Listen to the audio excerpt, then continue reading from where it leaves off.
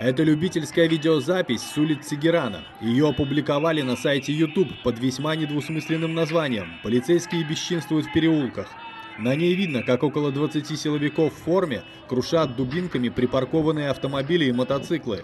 Напомним, что беспорядки в столице Ирана начались в прошлом месяце после президентских выборов. Иранские власти продолжают подавлять митинги оппозиции. Зарубежным журналистам запрещено выезжать на репортажи, ограничен и доступ в интернет.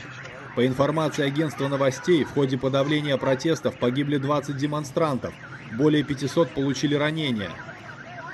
Сами иранские власти обвинили в кровопролитии проигравшего на выборах Мир Хасейна Мусави.